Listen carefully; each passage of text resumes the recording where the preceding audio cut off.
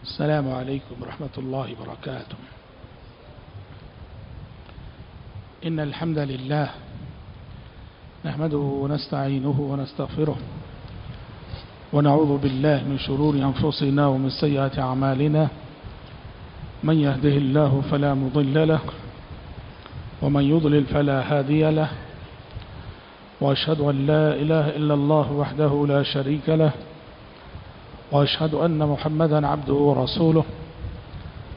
أما بعد فإن خير الحديث كتاب الله وخير الهدي هدي محمد صلى الله عليه وسلم وشر الأمور محدثاتها وكل محدثة بدعة وكل بدعة ضلالة وكل ضلالة في النار. أعوذ بالله السميع العليم من الشيطان الرجيم. من همزه ونفخه ونفسه.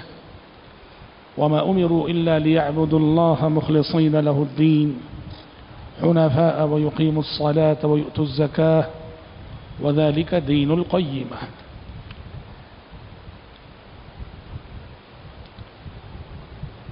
رمضان کے آخری اشرے کی دوسری یا تیسری رات ہم نے آپ کے سامنے اخلاص نیت کے سلسلے میں گفتگو کی تھی اور پیارے نبی صلی اللہ علیہ وسلم کی وہ جو مشہور حدیث ہے انما الاعمال بالنیات آدھی حدیث پر ہم نے روشنی ڈالی تھی۔ جو باقی آدھی حدیث ہے، تو آج کے درس میں میں اس پہ گفتگو کرنے جا رہا ہوں۔ انما الاعمال بالنیات اعمال کا دار و مدار نیتوں پر ہے۔ وہ انما لمر اما نوا اور آدمی کو وہی چیز ملے گی جس کی وہ نیت کرتا ہے۔ ان دو جملوں پر ہم نے گفتگو کی۔ اور بتایا تھا کہ نیت کی مثال فاؤنڈیشن جیسی ہے، جس پر عمل کی عمارت کھڑی ہوتی ہے، اور جس طرح فاؤنڈیشن کے بغیر بلڈنگ کا تصور نہیں ہوتا ویسے ہی ایک اچھی اور صالح نیت کے بغیر عمل صالح کا تصور نہیں کیا جا سکتا۔ اور پھر یہ بھی بتایا گیا تھا کہ وہ انم علم رمانوا کہ آدمی کو وہی چیز ملے گی جس کی اس نے نیت کی ہے یعنی مومن کی نیت یہ مستقل عمل ہے، مستقل نیکی ہے۔ ہم جو بھی عمل کرتے ہیں، اجر و ثواب جو ملتا ہے وہ نیت کی بنیاد پہ ملتا ہے۔ عمل آپ چھوٹا کر رہے ہیں، بڑا کر رہے ہیں، اس سے قطع نظر۔ عمل کے پیچھے آپ کی نیت جتنی اسٹرانگ ہوگی، نیکیاں، اجر و ثواب اتنا زیادہ ملے گا۔ اور آپ کی نیت جتنی کمزور اور ویک ہوگی، نیکیاں اتنی کم ملے گی۔ بھلے سے عمل بہت زیادہ ہو۔ اب آگے پیارے نبی صلی اللہ علیہ وسلم فرماتے ہیں، دیکھیے۔ فمن كانت هجرته إلى الله ورسوله فهجرته إلى الله ورسوله.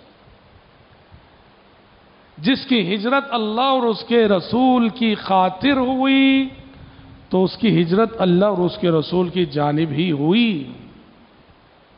ومن كانت هجرته إلى دنيا يصيبها أو امرأة ينكحها فهجرته إلى ما هاجر إليه. اور جو کس دنیا پانے کی خاطر ہجرت کرے یا کسی عورت سے شادی کرنے کی خاطر ہجرت کرے، تو اس کی ہجرت تو بس اسی جانب ہوئی جس جانب کے اس نے ہجرت کی ہے۔ یعنی آپ صلی اللہ علیہ وسلم مثال دے رہے ہیں، نیت کی وجہ سے عمل کی حیثیت کیسے بدلتی ہے؟ کہ مثال دے رہے ہجرت کی۔ ہجرت بہت بڑی نیکی۔ بہت بڑی قربانی ہے۔ اللہ کی خاطر، دین کی خاطر آپ ایک ملک کو چھوڑ کر دوسرے ملک جاتے ہیں، ایک ایریے کو چھوڑ کے دوسرے ایریے جاتے ہیں، ایک شہر کو چھوڑ کے دوسرے شہر جاتے ہیں۔ اللہ کی خاطر ہجرت ہے۔ بہت بڑی نیکی ہے۔ کتنی بڑی نیکی جانتے ہیں؟ حدیثوں میں آپ نے فرمایا الحجرت تہدیم ما كان قبلها کہ مہاجر جب ہجرت کرتا ہے تو ہجرت کرنے سے اب تک کی زندگی کے سارے گناہ معاف ہو جاتے ہیں۔ اور اس کے عمل کا سلسلہ اور اس کا نامہ اعمال اعمال کا دفتر، اتنا پاک ہو جاتا ہے، کلیئر ہو جاتا ہے، جیسے کہ یہ نیو بورن بیبی ہو۔ نو پیدا شدہ بچہ جو ہوتا ہے نا ہاں، اس کا دفتر گناہوں کا جیسے پاک ہوتا ہے مہاجر جب ہجرت کرتا ہے تو اس کی اس کا دفتر بھی اسی طرح سے پاک ہو جاتا ہے۔ اب اس عمل کی مثال دے رہے ہیں پیارے نبی صلی اللہ علیہ وسلم کہ جس کی ہجرت اللہ اور اس کے رسول کی خاطر ہو تو اس کی ہجرت اللہ اور اس کے رسول کی جانب ہی ہوئی۔ اور جس کی ہجرت دنیا پانے کے لیے یا عورت سے شادی کرنے کے لیے ہوئی تو اس کی ہجرت اسی جانب ہوئی۔ کہتے ہیں یہ بات پیارے نبی صلی اللہ علیہ وسلم نے اس لیے ارشاد فرمائی اور اس لیے کہی کہ جب صحابہ کرام رضوان اللہ علی مجمعین مکہ سے مدینہ ہجرت کر رہے تھے، مکہ چھوڑ کے مدینہ ہجرت کر رہے تھے۔ کس لیے کر رہے تھے؟ اللہ کی خاطر، دین کی خاطر۔ اپنے عقید اور ایمان کو بچانے کی خاطر قربانیاں دے کر ملک کی محبت وطن کی محبت کی قربانی، دوستوں کی، رشتہ داروں کی محبت کی قربانی دے کر مدینہ ہجرت کر رہے تھے، تو وہیں ایک صاحب ایسے بھی تھے، وہیں ایک صاحب ایسے بھی تھے، مکہ سے مدینہ ہجرت کرے اور ریزن کیا تھا؟ مدینے میں ایک عورت ہے، اس سے شادی کرنا ان کا ارادہ تھا۔ سمجھ رہے ان، اس لیے ان کا نام ہی ہے، حدیث کی کتابوں میں شارین لکھتے ہیں، ام قیس، مہاجر ام قیس۔ وہ عورت کا نام تھا ام قیس، جس سے شادی کرنے کے لیے وہ مکہ سے مدینہ ہجرت کرے۔ سمجھ رہے تو ان کا نام ہی پڑ گیا، ان کا ٹائٹل ہی پڑ گیا، مہاجر ام قیس۔ ام قیس کی خاطر ہجرت کرنے والے صاحب۔ اب غور کیجیے ہاں ام قیس کی ہجرت باطل ہو گئی۔ ام قیس ہجرت کے عظیم اجر و ثواب سے محروم۔ کیوں؟ نیت درست نہیں۔ ہجرت کرنا ہے اللہ کی خاطر، دین کی خاطر۔ وہ نیت کے بجائے، ان کی نیت کیا ہے؟ وہاں جو ام قیس ہے، اس سے شادی کرنا ہے مجھے۔ تو ایک فاسد نیت کی وجہ سے اتنا بڑا عمل اور اتنی بڑی نیکی برباد ہو گئی، ختم ہو گئی، ضائع ہو گئی۔ غور کرنے کی بات ہے، مہاجر ام قیس نے ہاں جیسے اور سارے صحابہ نے اپنا وطن چھوڑا، مہاجر ام قیس نے بھی وطن چھوڑا اور سارے صحابہ نے اپنے رشتہ دار چھوڑے مہاجر ام قیس نے بھی اپنے رشتہ دار چھوڑے اور سارے صحابہ نے مکے کی وادیوں میں ان کا جو کاروبار تھا بزنس تھا، اس کو قربان کیا۔ مہاجر ام قیس نے بھی جو جو قربانیاں اور سارے صحابہ نے دی وہ ساری قربانیاں مہاجر ام قیس نے بھی دی صحابہ کو کیا ملا؟ صحابہ کو اللہ کی رضا ملی، جنت ملی۔ اور مہاجر ام قیس کو کیا ملا؟ ام قیس ملی، بس اس کے سوا کچھ نہیں ملا۔ نہ جنت ملی، نہ اللہ کی رضا ملی۔ سمجھ رہے ہیں؟ تو اچھی اچھی لیکھیاں بڑے بڑے عمل، اگر نیت اچھی نہ ہو تو کیسے برباد ہوتے ہیں؟ اس کی ایک واضح مثال ہے۔ اسی لیے بھائیوں ہم سب کو کوشش کرنی چاہیے اخلاص نیت کی۔ اپنی نیت کو سدھارنا اور نیت کو صحیح رکھنا بڑا مشکل کام ہے۔ کیوں جانتے ہیں؟ اللہ تعالیٰ شیطان کو یہ کیپیسٹی دیا ہے، یہ صلاحیت اور طاقت دیا ہے ہمارے دلوں میں وسوسے ڈالنے کی۔ اب اس کی وجہ سے جب بھی ہم کوئی اچھا کام کرنے جاتے ہیں تو فوراً وہ ہماری نیت پہ حملہ کرتا ہے۔ شیطان کیا کرتا ہے؟ ہماری نیت پہ حملہ کرتا ہے۔ نیت میں خلل ڈالتا ہے۔ اسی لیے ہمیشہ جائزہ لینا میں عمل کر رہا ہوں، کس لیے کر رہا ہوں، کس نیت سے کر رہا ہوں، میرا مقصد کیا ہے؟ سفیان السوری رحمت اللہ علیہ علماء سلف میں سے ہیں۔ فرماتے ہیں، بہت بڑے محدث، بہت بڑے فقی بہت بڑے عابد و زاہد، وہ فرماتے ہیں، سفیان السوری رحمت اللہ علیہ ما عالجت شيئا أشد علي من نيتي فإنها تنقلب علي۔ وہ فرماتے ہیں، میری زندگی میں میرے نزدیک زندگی کا مشکل سے مشکل ترین کام اگر کوئی ہے، تو وہ نیت کی اصلاح ہے۔ بار بار بدل جاتی ہے، فَإِنَّهَا تَنْقَلِبُ عَلَيَّ۔ بار بار بدل جاتی ہے۔ سمجھ میں آ رہی بات؟ ایک نماز پڑھنے کے لیے آپ مسجد آتے ہیں، فرض کرو، وقت سے پہلے آ رہے وقت سے پہلے ہاں رستے میں شیطان خیال ڈالتا ہے ہاں لوگ تعریف کریں گے ہاں پہلے صفحہ اول کا نمازی ہے۔ آپ کے دل میں ایمان تھا، فوراً آپ استغفر اللہ پڑھ لیے، وہاں غالب آ گئے۔ پھر مسجد میں جیسے ہی داخل ہوئے اور لوگوں پہ نظر پڑی، پھر خیال آتا ہے، پھر خیال آتا۔ او لوگ تعریف کریں گے ہاں کتنا دیندار نوجوان ہے۔ پھر آپ نے استغفر اللہ پڑھا، پھر صفحہ اول میں کھڑے ہو کے نماز شروع کر دی آپ نے، پھر شیطان کو چونکہ اللہ نے یہ کنٹرول ہم پہ عطا کیا ہے، ان الشیطان یجری من الانسان مجرى الدم، ہماری رگوں میں خون کی مانند شیطان بہ بہ سکتا ہے، جا سکتا ہے، داخل ہو سکتا ہے، اس لیے وہ بار بار ہماری نیتوں پہ حملہ کرتا ہے۔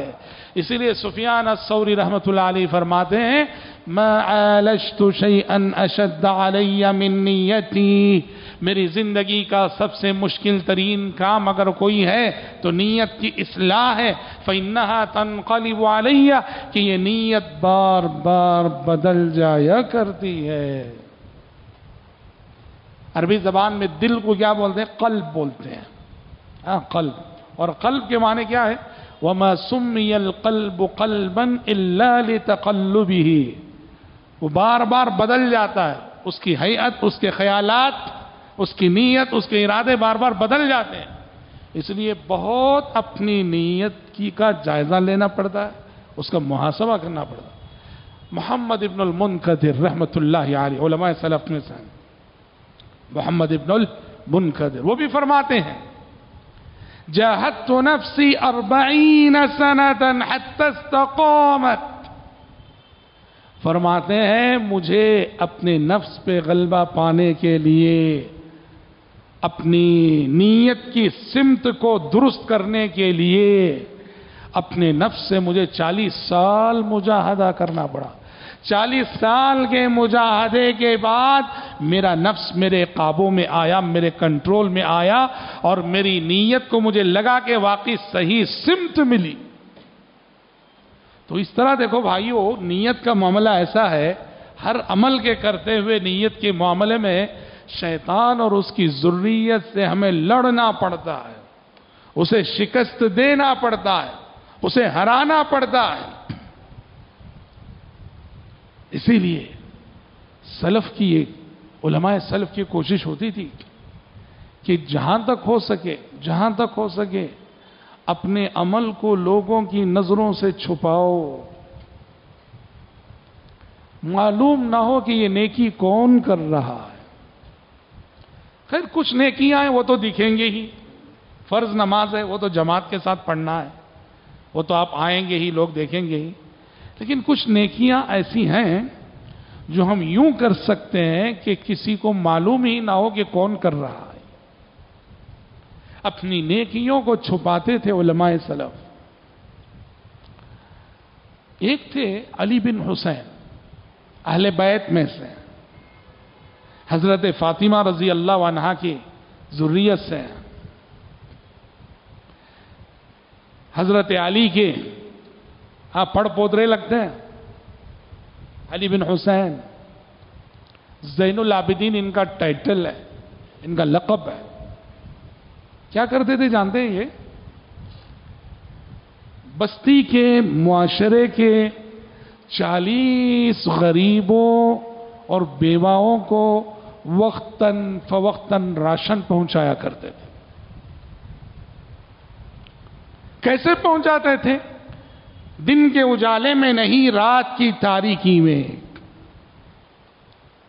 جب سب سوئے رہتے، ان کے گھر پہ جاتے اور رکھ کے آ جاتے، ان کی دہلیز پہ رکھ کے آ جاتے، ان کا دروازہ کھلتا تو دہلیز پہ انہیں وہ سام یعنی اور لوگوں کو معلوم ہونا تو چھوڑیے، جس غریب کو وہ دے رہے ہیں اس غریب کو بھی نہیں معلوم کہ یہ کون لا رہا ہے، کون رکھ رہا ہے اور کون دے رہا ہے۔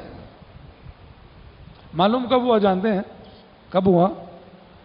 جب علی بن حسین کی وفات ہوئی، علی بن حسین رحمہ اللہ کا انتقال ہوا، ان چالیس گھروں کو راشن آنا بند ہوا، تب دنیا کو پتا چلا اچھا یہ جو راشن بھیج رہے تھے، لا رہے تھے، رکھ رہے تھے، یہ علی بن حسین زین العابدین ہیں۔ اس لیے بھائیوں یاد رکھو، اپنے نام اعمال میں، اپنے نام اعمال میں کچھ ایسی نیکیاں ہو، ضرور ہونی چاہیے۔ جن نیکیوں کا علم ہمارے اور ہمارے رب کے سوا کسی تیسرے فرد کو نہ ہو۔ ہمارے ماں باپ کو بھی معلوم نہ ہو۔ ہمارے بیوی بچوں کو بھی معلوم نہ ہو۔ ایسی کچھ نیکیاں ہونی چاہیے۔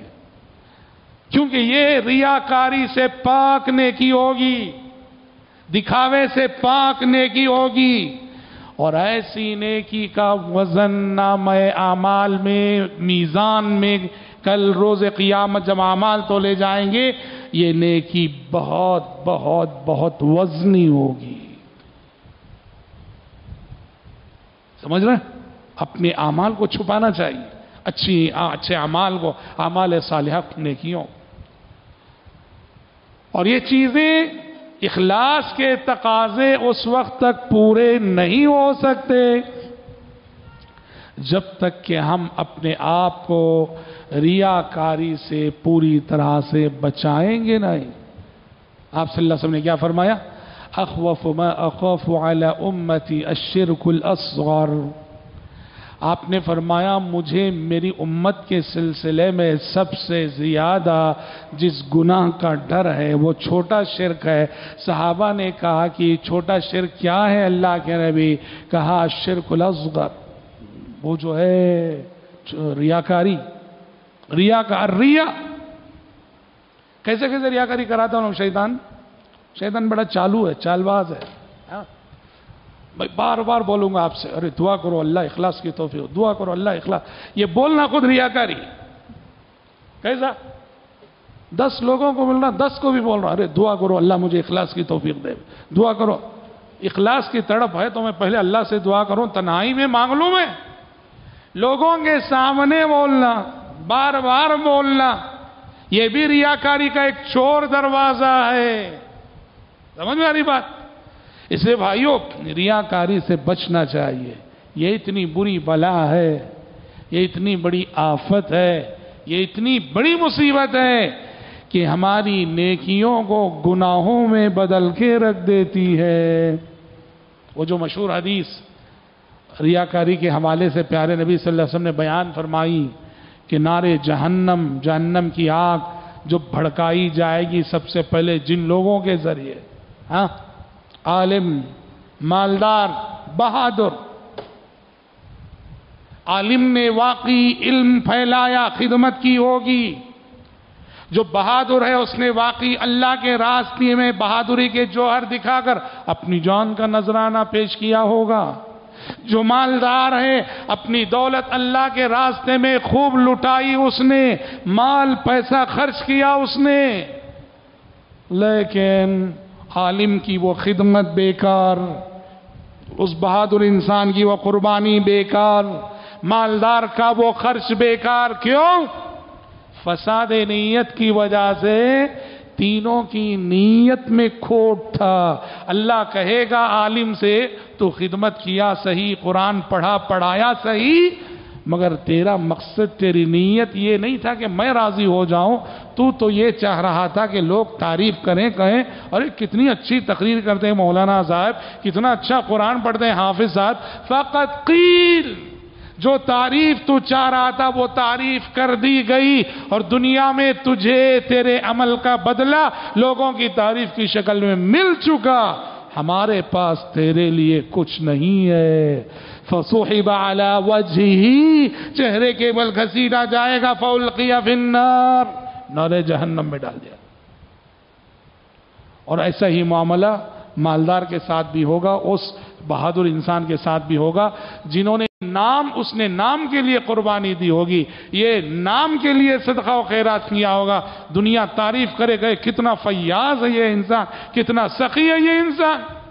دیکھو یہ تینوں اگر سرے سے عمل ہی نہ کیے ہوتے، وہ عالم خدمت نہ کیا ہوتا، وہ مالدار صدقہ نہ کیا ہوتا، وہ بہادر انسان قربانی نہ دیا ہوتا، تو شاید مصیبت اتنی بڑی نہ ہوتی، آفت اتنی بڑی نہ ہوتی جتنی بڑی کہ بگڑی ہی بھی نیت سے عمل کرنے کی وجہ سے ہو گئی۔ اس لیے محترم بھائیوں اللہ رب العزت سے پناہ مانگتے رہنا چاہیے ریاکاری سے۔ پیارے نبی دعا کرتے تھے نا وہ دعا ہم سب کو یاد رہنی چاہیے۔ اللهم طهر قلبي من النفاق وعملي من الرياء ولساني من الكذب وعيني من الخيانة فإنك تعلم خائنة العيون وما تخفي الصدور۔ یہ دعا ہمیشہ کرتے اللهم طهر قلبي من النفاق اللہ میرے دل کو نفاق کی بیماری سے پاک کر دے۔ وعملی من الرياء، میرے عمل کو دکھاوے اور ریاکاری کی آفت سے پاک کر دے۔ وَلِسَانِي مِنَ الْكَذِبِ، میری زبان کو جھوٹ سے پاک کر دے۔ وَعَيْنِي مِنَ الْخِيَانَةِ، میری آنکھ کو خیانت سے پاک کر دے۔ فَإِنَّكَ تَعْلَمُ خَائِنَةَ الْعَيُنِ وَمَا تُخْفِ الصُّدُورِ، اس لیے کہ دنیا جانے نہ جانے، میری آنکھوں کی خیانت کو تو جانتا ہے، میرے دل کے ارادوں کو تو جانتا ہے۔ یہ دعا ہمیشہ کرتے رہنا چاہیے۔ رب العزت سے دعا ہے کہ پروردگار عالم، مجھ کہنے والے کو اور آپ سبھی سننے والوں کو ریاکاری کے فتنے سے بچا کر، اخلاص نیت کی توفیق نصیب فرمائے۔ اللہم امین وصلی اللہ وسلم علی خیر خلقی محمد و صحبہ اجمعین۔